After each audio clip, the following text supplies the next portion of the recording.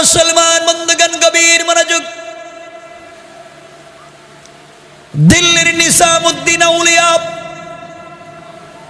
মস্ত বড় আবেদ, নামাজ পড়েন, তাহাজ্জুদ গুজার, এতে কোনো সন্দেহ নাই। তার দরবারে নারী পুরুষ আসার কোনো সুযোগ নাই। সুন্দর করে চালাচ্ছেন কিন্তু তার মরিদারা বেশি ভালোবাসা ভালো। কথা বলেন ভালো না। ওরা ভালোবাসতে গিয়ে এক পর্যায়ে সামা করে ডুল বাজায়। কিন্তু তিনি তাদেরকে নিষেধ করেন না। তিনি তাদেরকে নিষেধ করেন না। এইভাবে চলতে আছে। মানুষ যখন এই সময় সব থেকে বড় আলেম ফকির জিয়াউদ্দিনের কাছে নিজামুদ্দিন আউলিয়া সম্পর্কে জিজ্ঞাসা করে, হুজুর, আপনি বলেন তো নিজামুদ্দিন আউলিয়া কেমন?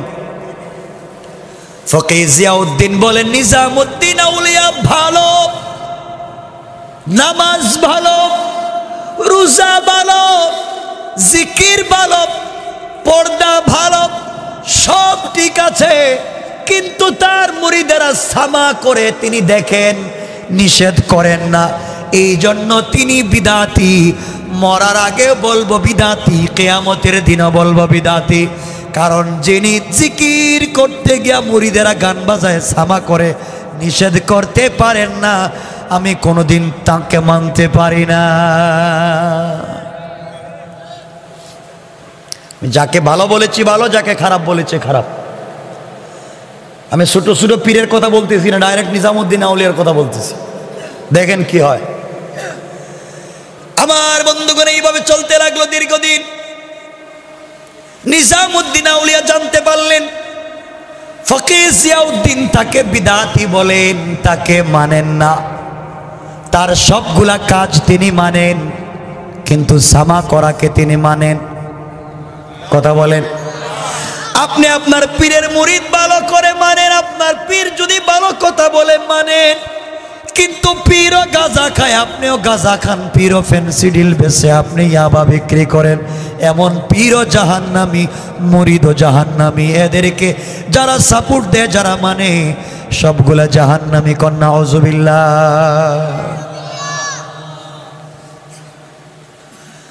আমার বন্ধুগণ একবার ফকির জিয়াউদ্দিন অসুস্থ হয়ে পড়লেন।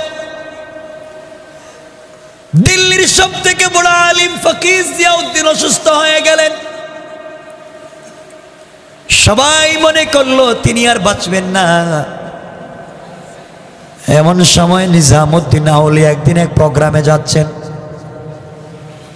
রাস্তায় যাওয়ার পথে মুড়িদেরা বলছে, পিসা হুজুর আপনি জানেননি কোনো খবর? তিনি বললেন, না, জানি না কি হয়েছে। সবাই বলতেছেন, পীর সাহেব, শোনেন, আপনাকে যেই ব্যক্তি সারা জীবন বিদাতি বলেছে, আপনাকে যেই ব্যক্তি কোনোদিন মানতে চায় না, পাবলিকের সামনে আপনাকে বিদাতি বলে ছোট করে, ফকির জিয়াউদ্দিন অসুস্থ, সাকারাত শুরু হয়েছে, মরে যাবে। মুরিদের উদ্দেশ্য ছিল এই কথা যদি নিজামুদ্দিন আউলিয়াকে বলি তিনি খুশি হবেন, আর বলবেন সেই ব্যক্তি আমাকে সারা জীবন বিদাতি বলছে, ও মরে যাচ্ছে, মরে যাক। যা আমরা করব, আমরা হলে তো ফেসবুকে, টুইটারে আমাদের পীর সাহেবের নাম দিয়ে লাগাই দিতাম। নিজামুদ্দিন আউলিয়া বলেন, সত্যি কি তুমি দেখে এসেছ? সত্যি কি তুমি জানো? তিনি অসুস্থ। কয় হ্যাঁ আমি জানি অসুস্থ। এমন সময় নিসামুদ্দিন আউলিয়া বললেন, আমার সবগুলা প্রোগ্রাম ক্যান্সেল আমি আজকে কোন প্রোগ্রামে যাব না। আমি আজকে কোন মাহফিলে যাব না। তোমরা আমাকে নিয়ে চলো। ফকির জিয়াউদ্দিনকে অসুস্থ দেখতে যাব।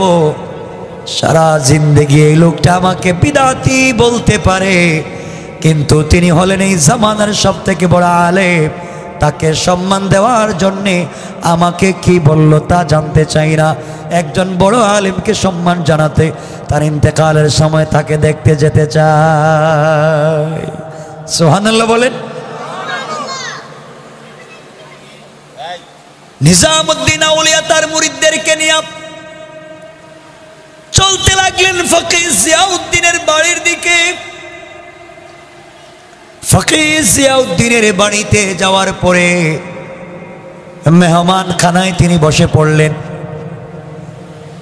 নিজামুদ্দিন আউলিয়া তার খাদেমদেরকে বললেন, খাদেমেরা, শোনো, তোমরা ফকির জিয়াউদ্দিনের খাদেমদের সঙ্গে কথা বলো। কথা বলে বলো, আমি নিজামুদ্দিন আউলিয়া এসেছি, তার সঙ্গে দেখা করতে চাই, একটু সুযোগ দেওয়া যাবে কিনা? নিজামুদ্দিন আউলিয়ার খাদিম। ফকির জিয়াউদ্দিনের খাদিমের সঙ্গে কথা বলে। জিয়াউদ্দিনের সামনে পৌঁছে গিয়েছেন। ফকির জিয়াউদ্দিনকে বলছেন, বড় হুজুর, নিজামুদ্দিন আউলি আপনাকে দেখতে এসেছেন। মেহমান খানায় বসে বসে আপনার অনুমতি চাচ্ছেন, আপনি অনুমতি দিলে। তিনি আপনার সঙ্গে দেখা করবেন। ফকির জিয়াউদ্দিন শুয়ে আছেন, বসতে পারেন না, দাঁড়াতে পারেন না, এত অসুস্থ। তিনি বললেন, তুমি কে? তোমাকে আমি চিনি না। নিজামুদ্দিন আউলিয়ার খাদেম বলছে, আমি নিজামুদ্দিন আউলিয়ার খাদেম। আমাকে তিনি পাঠিয়েছেন দেখা করার জন্যে। আপনার সঙ্গে কথা বলার জন্য অনুমতি প্রার্থনা করেছেন। ফকির জিয়াউদ্দিন বললেন, তুমি চলে যাও। যে লোকটাকে সারা জীবন বিদাতি বলেছি, আমি হয়তো এখন ইন্তেকাল করব, না হয় কোন সময় মরবো, জানি না, বিছানায় পড়ে গেছে, উঠতে পারব না। যেই লোকটাকে সারা জীবন বিদাতি বলেছি আজকে বেদাতি বললাম, আর আমি ইন্তেকালের আগে কোনো বিদাতির চেহারা দেখে মরতে চাই না। চিন্তা করতেছেন? চিন্তা করতেছেন? যা সারা জিন্দগি বলেছি, এখনও তাই বলব। নিজামুদ্দিন আউলিয়ার খাদেম গরম রাগ হয়ে নিজামুদ্দিন আউলিয়াকে এসে বলছে, হুজুর, বলছিলাম যে লোকটা আপনাকে দেখতে পারে না, সারা জিন্দগি আপনাকে দেখতে পারল না, আজও মরার আগে আপনাকে দেখতে পারে না। সারা জীবন আপনাকে বিদাতি বলেছে, আজও বিদাতি বলে। আজকে বলেছে, আপনার সব কাজ ভালো, আপনি সামা করলে কেন বাধা দেন না? এই জন্য তিনি আপনার সঙ্গে দেখাও করবেন না, কথা বলবেন না। তিনি চান মরে যেতে পারেন, মরার আগে কোনো বিদাতির সঙ্গে কথা বলবেন না। চলেন, আমরা চলে যাই, তার সঙ্গে কথা বলব না, দেখা করব না। নিজামুদ্দিন আউলিয়া চুকের পানি ছেড়ে দিলেন। আর খাদিমকে বললেন, ও খাদিম, আবার যাও আবার যাও। আবার গিয়া বলো, একটু দেখো না অনুমতি চেয়ে দেয় কিনা আমাকে যত বিদাতি বলুক, আমাকে যত গালি দিক। একজন বড় আলেম ইন্তেকালের আগে তার সঙ্গে দেখা করি। কিন্তু কেন? নবীদের পরে তো আলেমদের স্থান। নবীদের পরে ওয়ারাসাতুল আম্বিয়া তো ওলামায়ে কারাম। যার কাছে কোরআনের জ্ঞান আছে, আল্লাহ বলছেন, তার চাইতে বড় কেউ নাই। সুতরাং উনি বড় আলেম, তাকে দেখা দরকার। আল্লাহ রসুল বলেছেন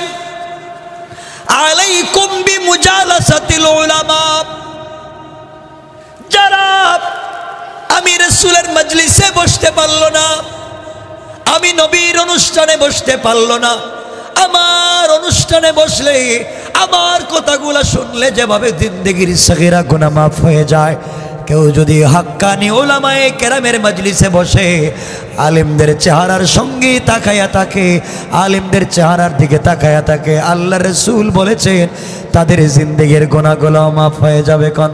সোহান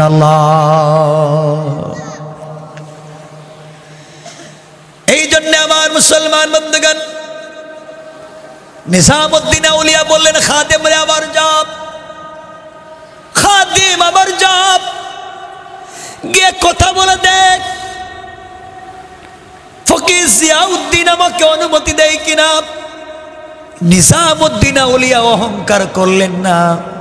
কারণ আল্লাহ কোরআনে করিম উনিশ নম্বর পারা পঁচিশ নম্বর সোরা সোরাল ফোরকানের তেষট্টি নাম্বার আয়াতে বলেছেন, যারা আল্লাহর গোলাম অলি হবেন পীর হবেন তাদের কোয়ালিটি কি? আল্লাহর গোলামের গুণ কি আল্লাহ বললেন? আবার আল্লাহ বললেন ওয়াইবাদুর রহমানিল্লাযীনা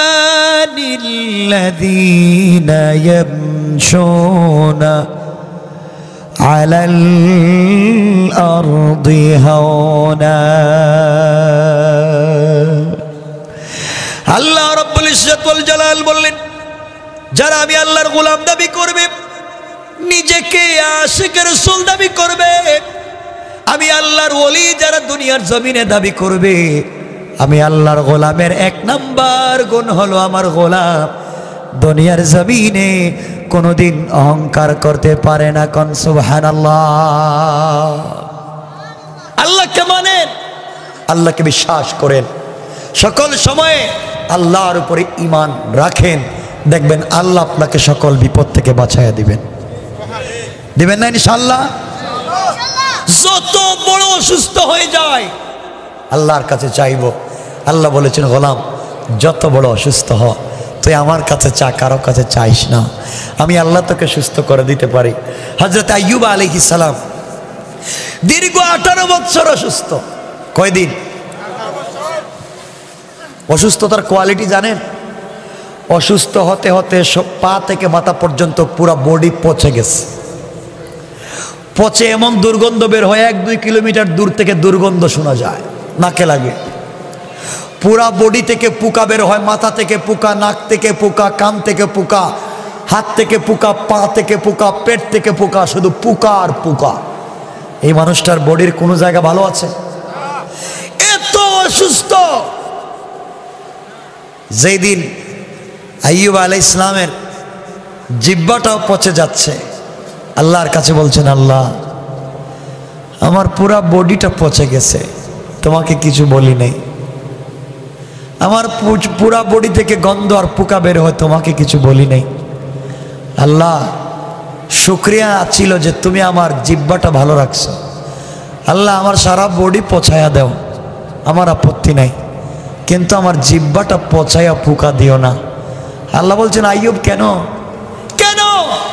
আল্লাহ এই জিব্বা দিয়ে আমি যত কষ্টে থাকি, আমি যেন তোমার নামের জিকির করতে পারি। আল্লাহ বলেন, আইয়ুব, এত কষ্টে থাকার পরেও, পুরা বডি পচে গেছে, এত কষ্টে থাকার পরেও, আমি আল্লাহকে বলে যাও নাই, শুধু জিব্বাটা ভালো থাকবার জন্য আমি আল্লাহর কাছে চাইলাম আমি আল্লাহ খুশি হইয়া তোমাকে সুস্থ করে বত্রিশ বছরের যুবক বানাইয়া দিলাম। সোভা আল্লাহ পারেন?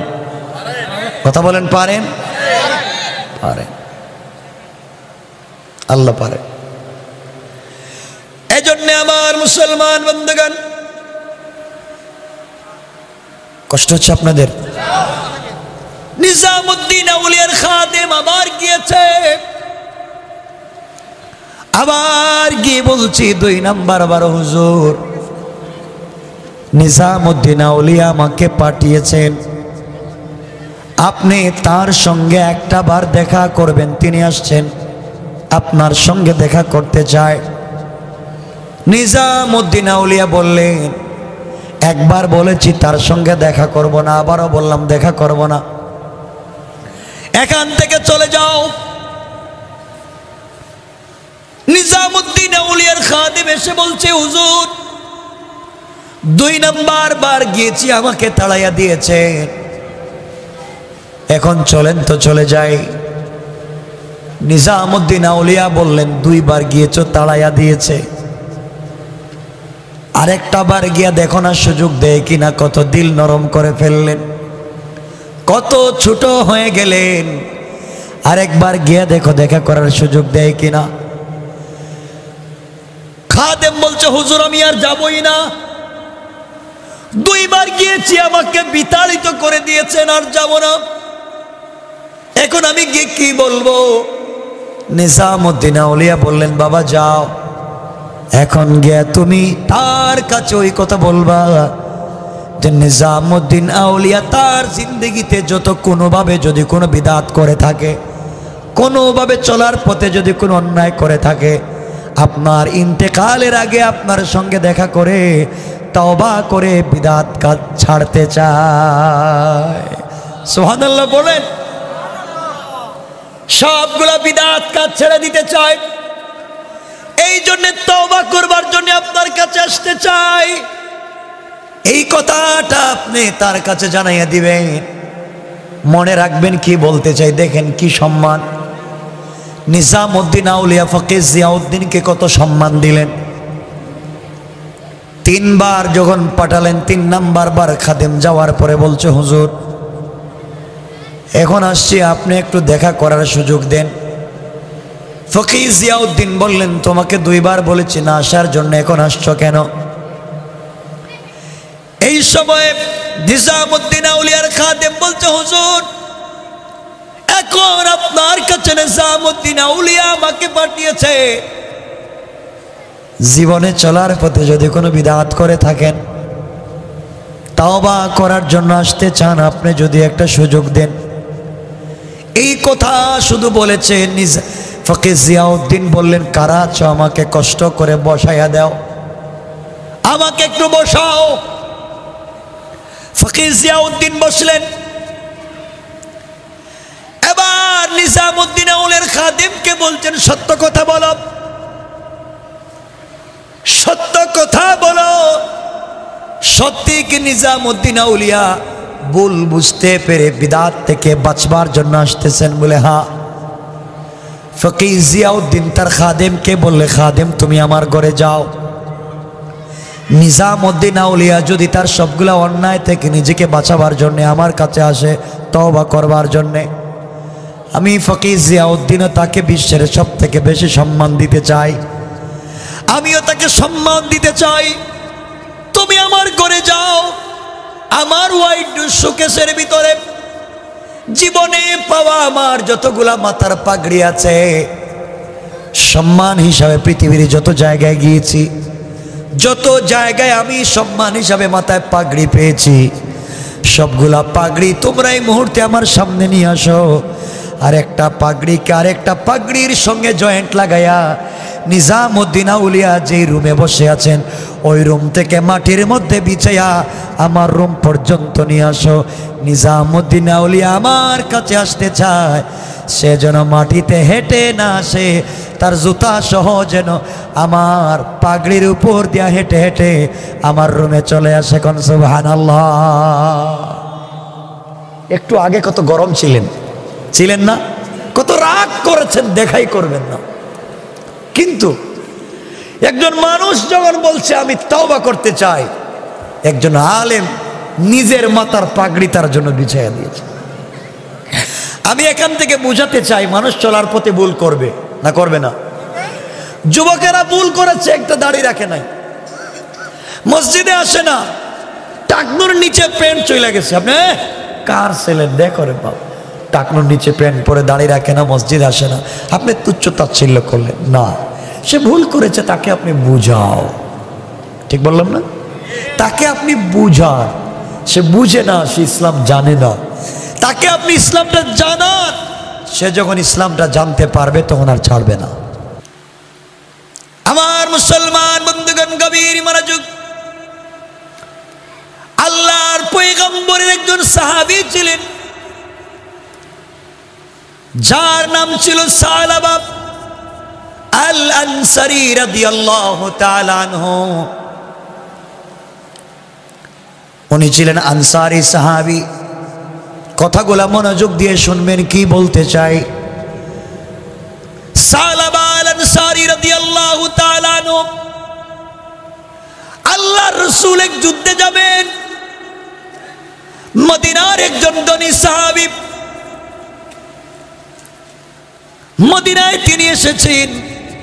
যার নাম হজরত সাঈদ। যাকে বলেন সাঈদ ইবনে আব্দুর রহমান রাদি আল্লাহ সাঈদকে বিশ্ব নবী নিয়ে জিহাদে চলে যাবেন, যুদ্ধে চলে যাবেন। আল্লাহর নবী মদিনার মধ্যে একজন আনসারি সাহাবি, একজন মুহাজির সাহাবি দুইজনকে দিয়ে বন্ধুত্ব করায় দিয়েছিলেন আর বলছিলেন, যে কারও অসুবিধা সুবিধায় একজন আর একজনকে সহযোগিতা করবা। বিশ্বনবী সাইদকে নিয়ে যখন জেহাদের ময়দানে চলে যান,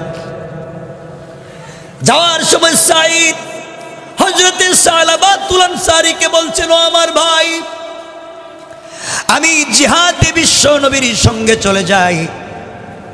তুমি আমার বাড়িটা দেখে রাখবা। আমার স্ত্রী ঘরের ভিতরে তাকে পর্দানশীল। তুমি আমার স্ত্রীকে দেখে রাখবা।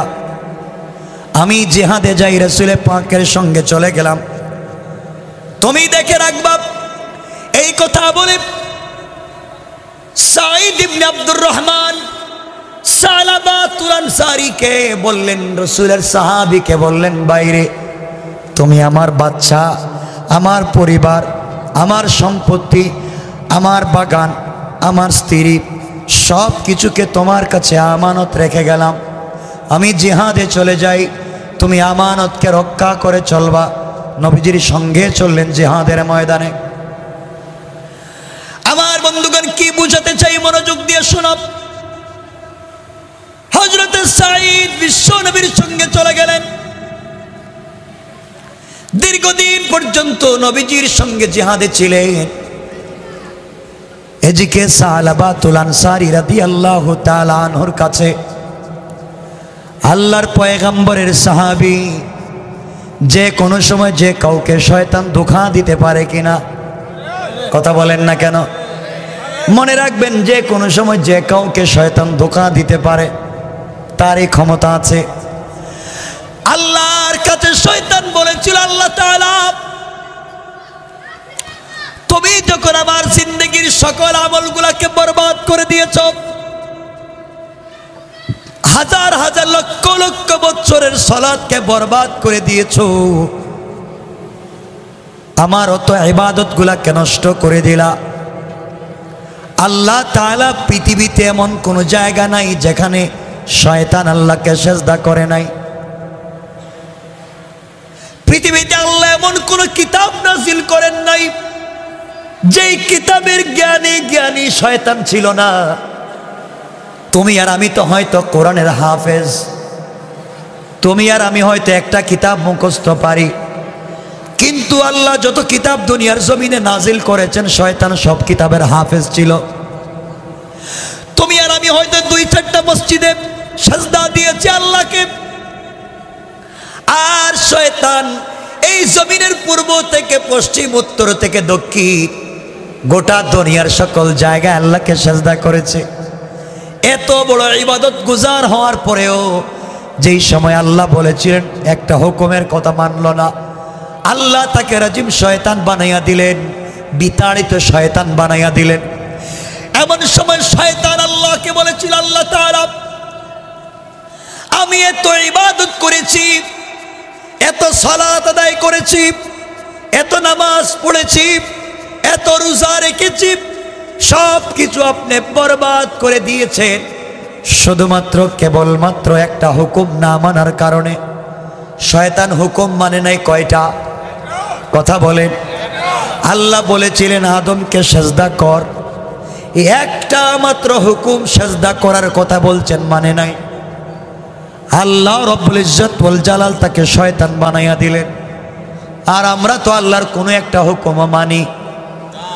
মানি না। এরপরে আমরা বড় মানুষ। মনে রাখবেন, শয়তান আল্লাহকে বলেছে, আল্লাহ তাআলা, আমি এত ইবাদত করলাম, সবগুলাকে আপনি ধ্বংস করে দিয়েছেন। অগমনি তোমার কাছে আমি চাই। দেখেন, শয়তান জানতো, আল্লাহর কাছে না চাইলে কিছু পাওয়া যাবে। শয়তানও জানতো, কিন্তু আমরা জানি না। শয়তান আল্লাহর কাছে বলছে, আল্লাহ তাআলা, তুমি যেহেতু আমাকে শয়তান বানিয়ে দিয়েছ, আমাকে আমার দুধ বানিয়ে দিয়েছ, আমাকে বিতাড়িত করে দিয়েছ, আল্লাহ তাআলা, তোমার কাছে আমি চাইলাম, কেয়ামত পর্যন্ত তুমি আমার হায়াতকে বাড়াইয়া দাও।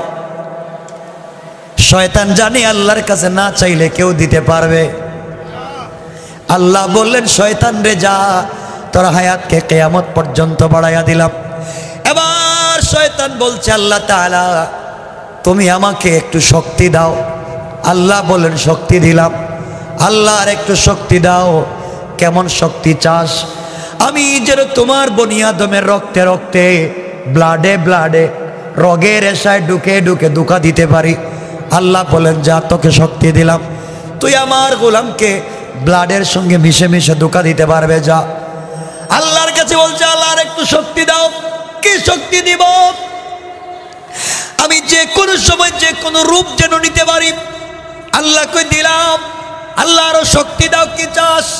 আয় আল্লাহ তাআলা, আমি যেন দিনে দুঃখা দিতে পারি, রাতে দুঃখা দিতে পারি, জাগ্রত থাকতে দুঃখা দিতে পারি, ঘুমের মধ্যে দুঃখা দিতে পারি, সরাসরি সামনে না এসা মনের ভিতরে দুঃখাটা যেন দিতে পারি।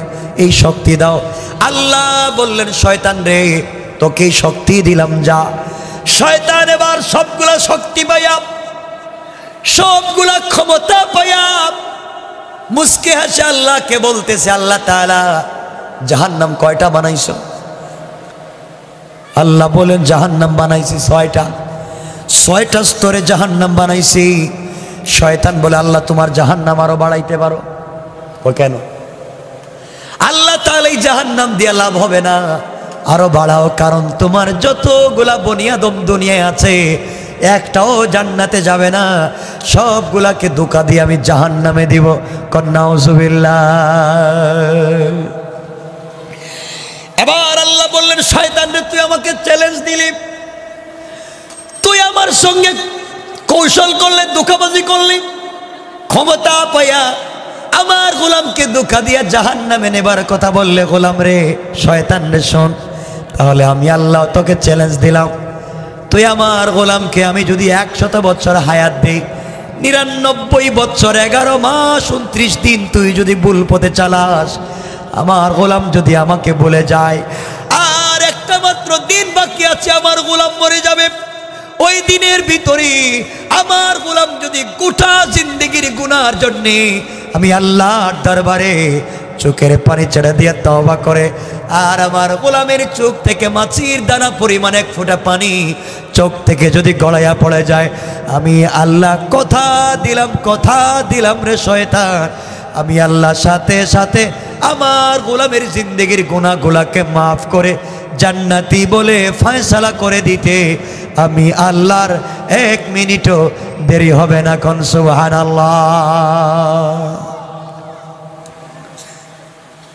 আবার বন্ধুগণ, আশরাফ আলী তানবী লিখেন, এক গোলাম, এক যুবক আশি বছর আল্লাহর কাছে প্রতিদিন ডাক দিয়া বলে ইয়া সনামু ইয়া সনামু ইয়া সনামু। সনামন অর্থ মূর্তি। কি? মূর্তি। প্রতিদিন মূর্তি সামনে নিয়া ডাক দিয়া বলে, ইয়া সনামু, আমার মেয়ের বিয়া সাহায্য করো, আমিও সুস্থ সাহায্য করো। আচ্ছা কোন তো মূর্তি কিছু শুনে। আপনারা বলেন মূর্তি কিছু বুঝে। প্রতিদিন এভাবে মূর্তির সামনে ইয়া সনামু ইয়া সনামু বলে একদিন, দুই দিন না, বলতে বলতে আশি বছরে শেষ হয়ে গেছে।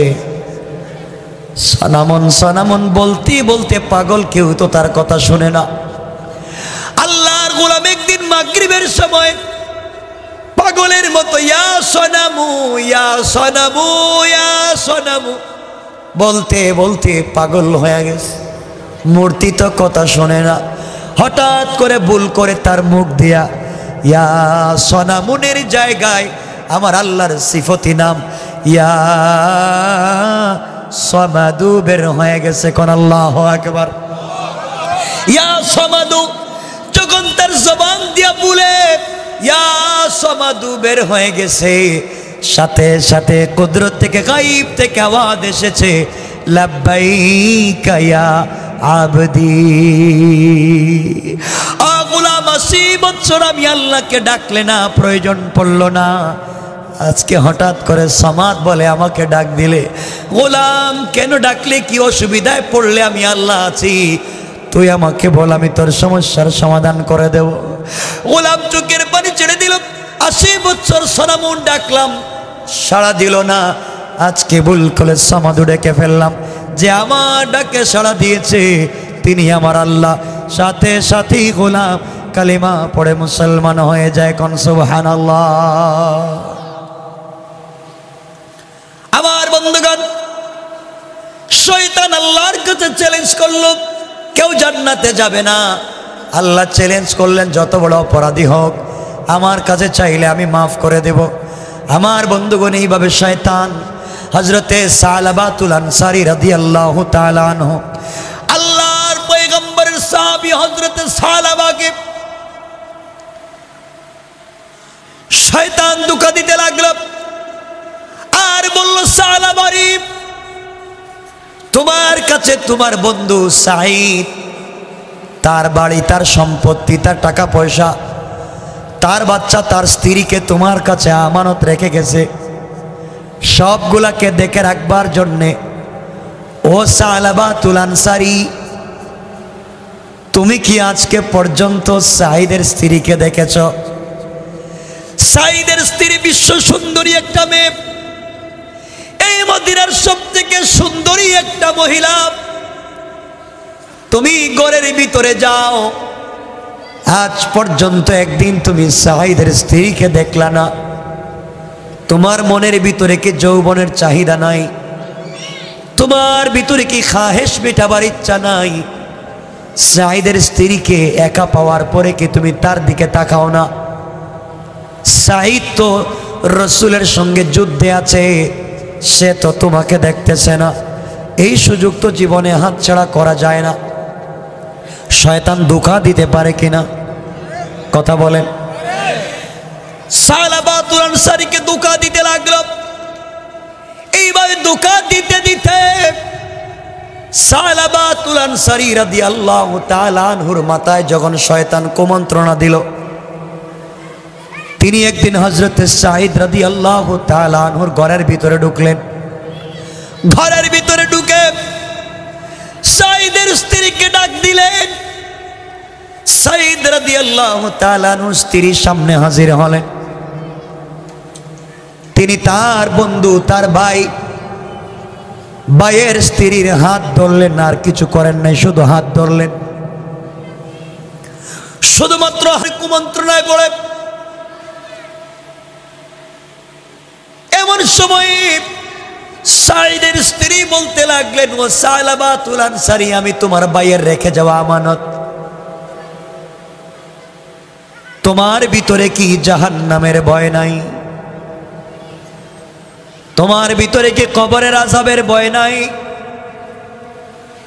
তোমার ভিতরে কি আল্লাহর সামনে দাঁড়াবার ভয় নাই? তুমি যে আমার হাত ধরেছ তোমার কাছে সব কিছু আমার স্বামী আমানত রেখে গেল। তুমি কি আমানতের খেয়ানত করবা? আল্লাহর পয়গম্বর বুখারির সহি হাদিসে বলেছেন, লা ইমানা লিমান লা ওয়ালা দিনা লিমান আহদালা যে আমানত রক্ষা করতে পারে না, তার কোনো ইমান নাই। যে ওয়াদা দিয়া ওয়াদা রক্ষা করতে পারে না, তার কোনো ধর্ম নাই। অবাই তুমি আমার স্বামীর সঙ্গে ওয়াদা দিয়েছ। আমানত রক্ষা করবা। তুমি যদি আমানত রক্ষা না করো, ওয়াদা ঠিক মতো পালন না করো, তোমার ইমান থাকবে না, তোমার কোনো ধর্ম থাকবে না। বাইরে তোমার ভিতরে কি অনুশোচনা আসে না। তুমি কেমনে নিজেকে জাহান নামের আগুন থেকে বাঁচাবা? কবরের ভিতরে সত্তরটা সাপ তোমাকে দংশন করবে, কেমনে বাঁচাবা? কবরের ভিতরে তোমাকে ফেরেস তারা পিটাবে, কেমনে বাঁচাবা? বাইরে তোমার ভিতরে কি জাহান নামের ভয় নাই? তুমি কেন অন্যায় পথে হাঁটো? এই কথাগুলা বলেছেন বলতে দেরি হয়েছে। হজরতে সালাবা সাইদের স্ত্রীর হাত ছেড়ে দিলেন। ঘর থেকে পাগলের মতো বের হয়ে গেলেন। আর রাস্তায় গিয়া পাগলের মতো কান্না করে আর বলে, আল্লাহ, আমার নাম গুনাগার তোমার নাম তো আজিজুল গফার আমি কেমনে আমার বাইয়ের রেখে যাওয়া আমানত কেন হাত দিলাম? কেন আমি তার স্ত্রীর হাতের সঙ্গে হাতটা লাগালাম? কেয়ামতের দিন কেমনে জাহান নামের আগুন থেকে নিজেকে বাঁচাও কেমনে আমি কবরের আজাব থেকে নিজেকে বাঁচাবো? এই জন্য এইভাবে কান্না করতে করতে অনেক দূরে মদিনার থেকে দূরের দিকে দৌড়ায় আল্লাহর পৈগম্বর জেহাদ থেকে চলে আসলেন, কথাগুলো শুনেন, কি বলতে চাই? জেহাদ থেকে চলে আসার পরে সাইদ ইবনে আব্দুর রহমান বাড়িতে আসলেন। স্ত্রীকে বললেন, স্ত্রী রে, আমার ভাই সালাবাতুল আনসারি কোথায়? তাকে যে আমি দেখি না। স্ত্রী সবগুলা ঘটনা খুলে বললেন বাইরে এই ঘটনা ঘটেছে। স্বামীকে বললেন, এই ঘটনা ঘটেছে, তোমার ভাই এই কাজ করেছে, আমার হাত ধরেছে। আমি তাকে জাহান নামের কথা বলে ভয় দেখালাম, সে এই দিকে জঙ্গলে চলে গেছে। সাইদ আব্দুর রহমান দৌড়াতে লাগলেন জঙ্গলের দিকে। গিয়ে দেখেন হজরতে সালাবা জঙ্গলের এক কর্নারে পুড়া পুড়া চোখের পানি চড়ে কান্না করে, তওবা করে। সাইদ বললেন, বাইরে, তোমার কাছে আমি সব কিছু আমানত রেখে গেলাম। আর তুমি কেন আমার স্ত্রীর হাত ধরলে এমন অন্যায় করলা? কি গুণা হয়েছে আমি তো জানি না।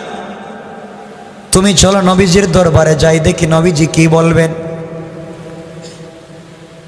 সালাবা বললেন, বাইরে।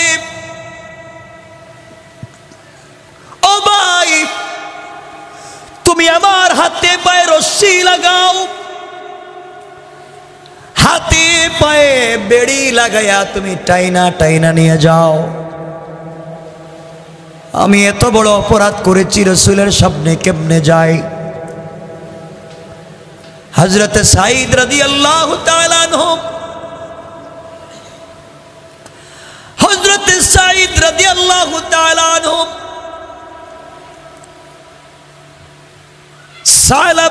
নিয়ে গেলেন হজরতে আবু বকরের দরবারে। আবু বকরকে সালাবা বললেন, বাইরে আমি অপরাধ করেছি।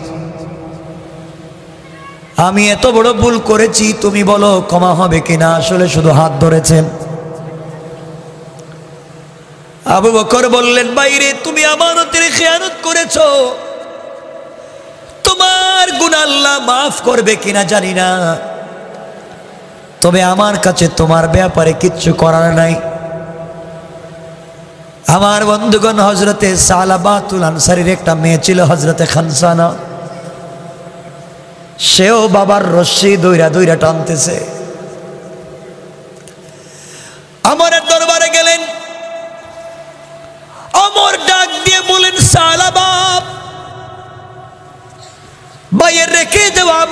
খেয়ানত করেছ?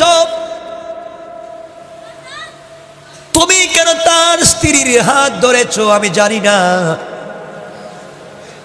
আল্লাহ তোমাকে ক্ষমা করবে কিনা জানি না, তবে আমার বাড়ি থেকে যাও। হজরতে সালাবা বললেন সাইদ্রি তুমি আমাকে নিয়ে চলো বিশ্ব নবীর দরবারে। ইচ্ছা ছিল নবীজির বাড়িতে না গিয়া সাহাবিদের মাধ্যমে যদি সমস্যার সমাধান করে যায়, বেঁচে যাব। কেমনেই চেহারা নবীজির সামনে গিয়ে আমি দেখাই? হজরতে সালাবাকে বিশ্ব নবীর দরবারে হাজির করা হলো। আমার নবী সব কথা শুনে বললেন সালাবাব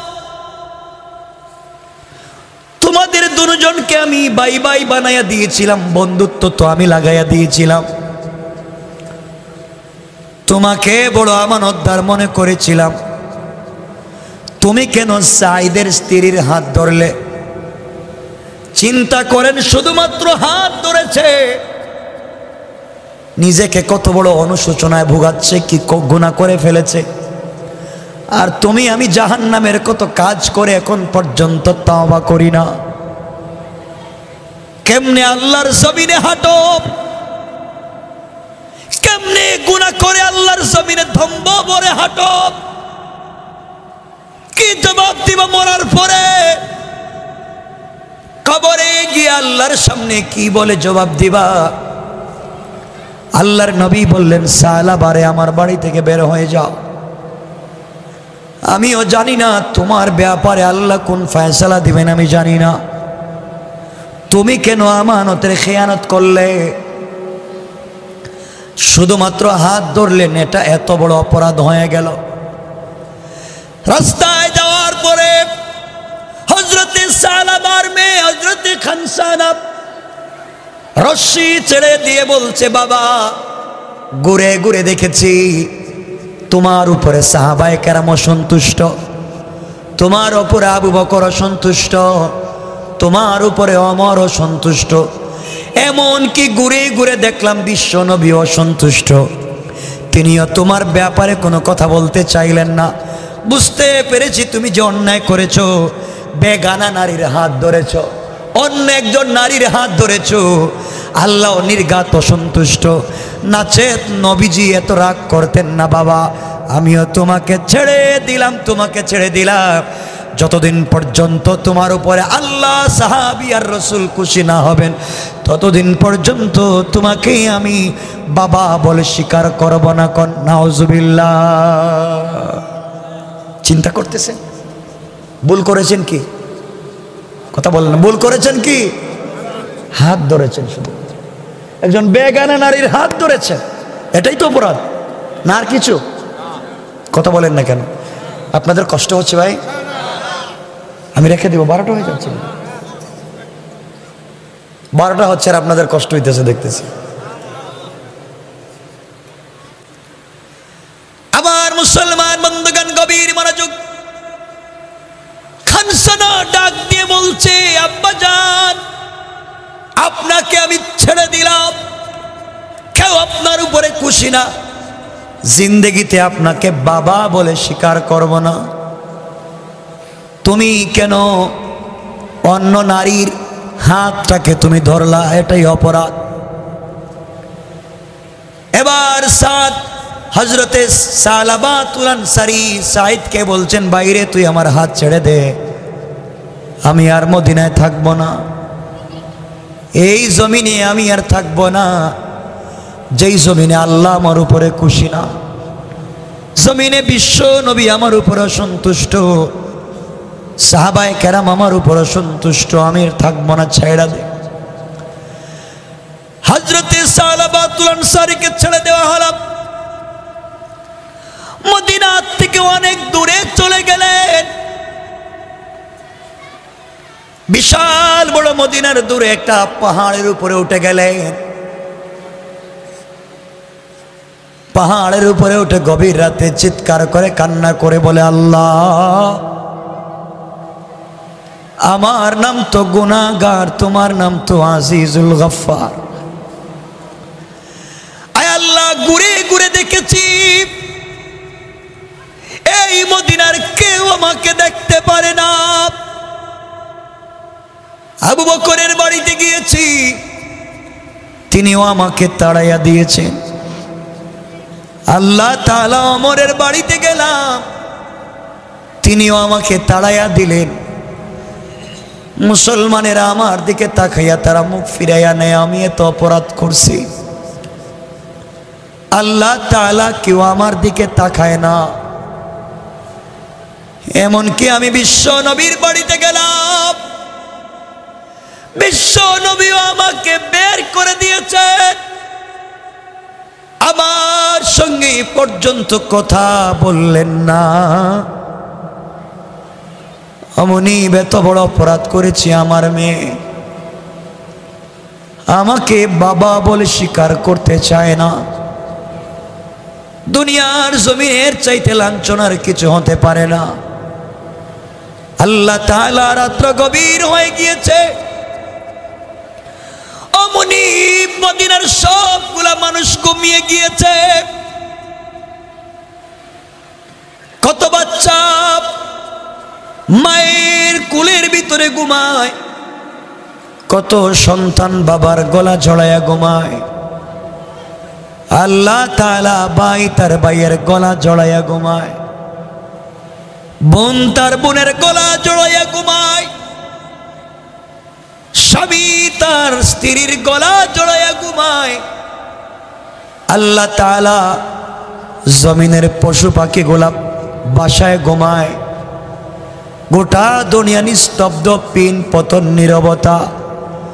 আল্লাহ তোমার এক গুণাগার গোলাম সাত সালাবাতুল আনসারি ঘুমায় না।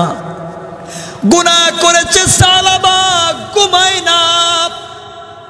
আয় আল্লাহ তালা কথা দিলাম কথা দিলাম। তুমি যদি আমাকে মাফ না করো, আমি কিন্তু পৃথিবীর কোনো খাবার খাব না।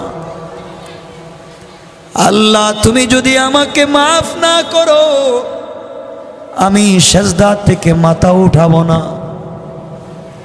এইভাবে কান্না করে করে সময় কাটায়া দে। তার চুকের পানি পড়তে পড়তে গালে দুইটা দাগ পড়ে গিয়েছে।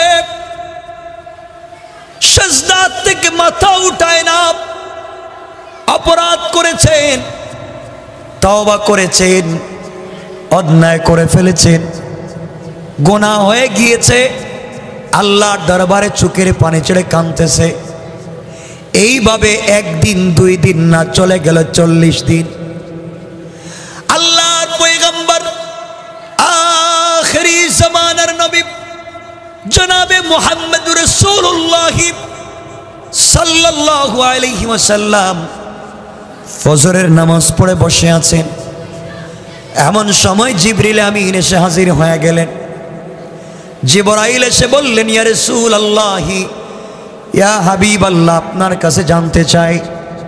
আপনি বলেন তো দেখি, এই দুনিয়া আপনি সৃষ্টি করেছেন না আল্লাহ? আল্লাহর পয়গম্বর বললেন, জিবরাইল, এই দুনিয়া তো সৃষ্টি করেছেন আল্লাহ।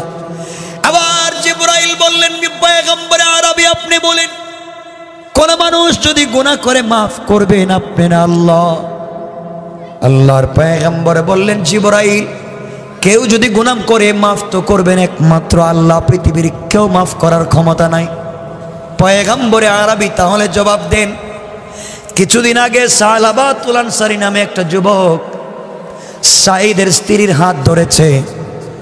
এই জন্যে কত তবা করেছে, আপনারা বের করে দিলেন, কেউ জায়গা দিলেন না। আল্লাহ রব্বুল ইজ্জতুল জালাল বলেছেন যে যত বড় অপরাধী হোক আর গুণাগার হোক, দুনিয়ার সকল মানুষ তাদের দরওয়াজা বন্ধ করে দিতে পারে। কিন্তু আল্লাহ রব্বুল ইজ্জতুল জালাল গুণাগারদের জন্যে তার রহমতের দরওয়াজা বন্ধ করতে পারে না। আগে পয়গম্বরে আরবি সালাবাতুল আনসারী এত বেশি করে তওবা করেছে।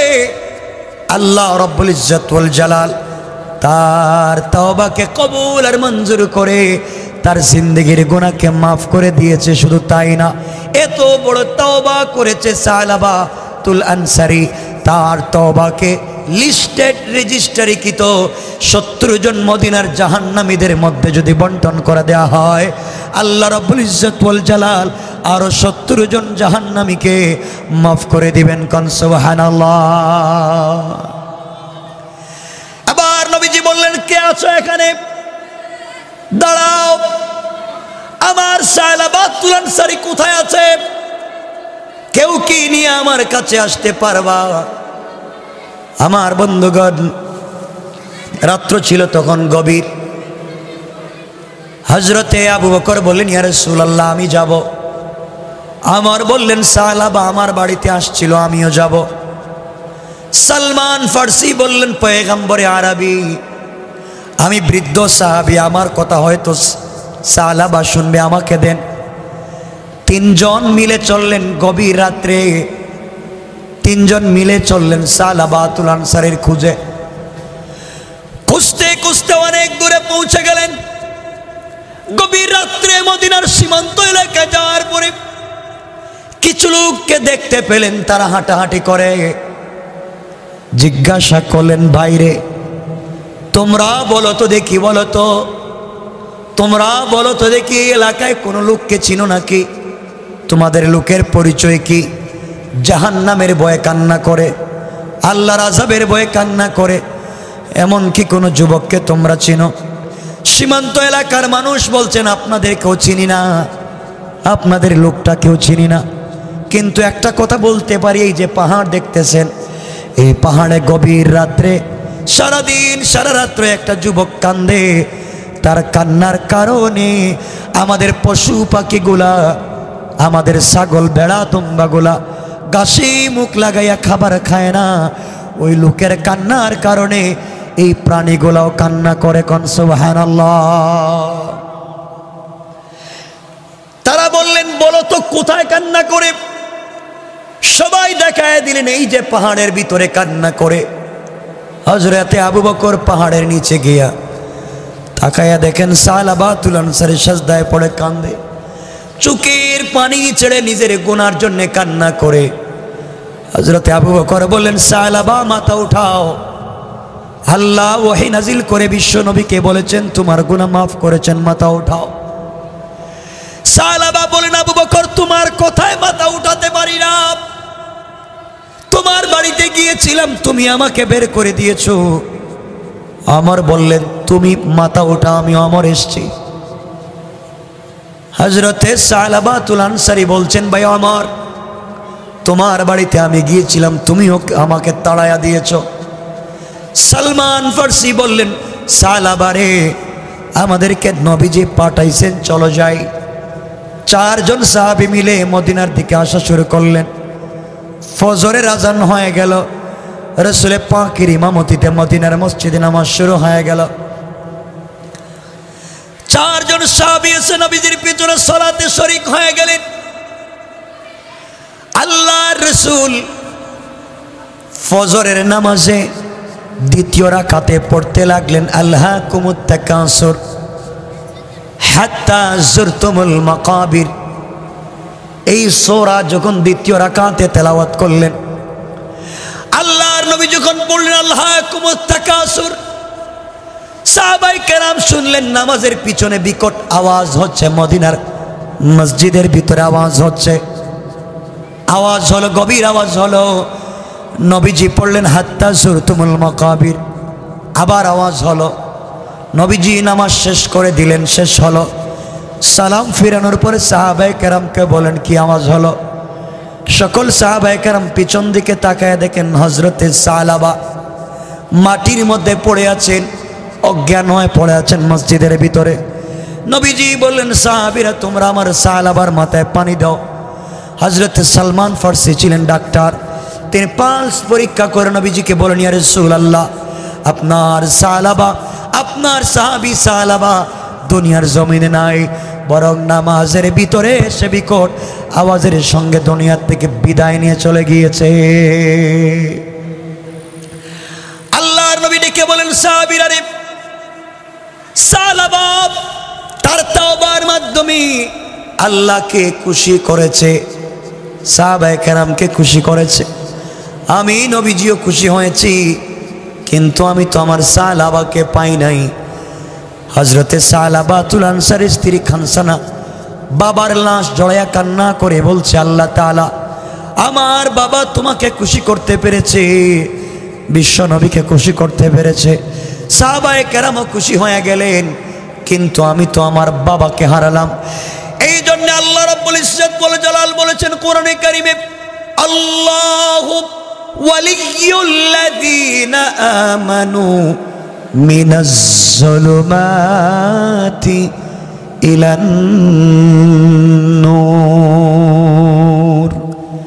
আল্লাহ রব্বুল ইজ্জত ওয়াল জালাল বলছেন, যারা কোরআনের জ্ঞান হাসিল করবে, যারা কোরআনের শিক্ষায় শিক্ষিত হবে, আর আমি আল্লাহকে অভিভাবক মানবে, তারা যদি চলার পথে কোনো ভুলও করে ফেলে আমি আল্লাহ বললাম, আমি তাদের অভিভাবক হিসাবে বললাম, তারা যখন তবা করবে, আমি আল্লাহ সাথে সাথে তাদের তবাকে কবুল করে, আমি আল্লাহ তাদেরকে অন্ধকার থেকে আলোর পথে নিয়ে যাই। কনসবহান সুতরাং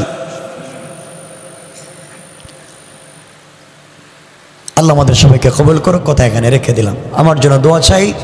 আপনাদের জন্য দিল থেকে দোয়া থাকলো আল্লাহ মালিকাল হামদ কুল্লু আলাকে শুক্র কুল্লু نسألك الخير كله ونعوذ بك من شر كله إنك على كل شيء قدير